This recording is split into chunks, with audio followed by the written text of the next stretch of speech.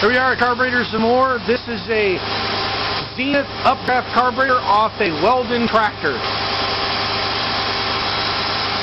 As you can tell, it runs perfect. We now are able to do tractor carburetors. As long as it's a gas carburetor, we can do your tractor carburetor.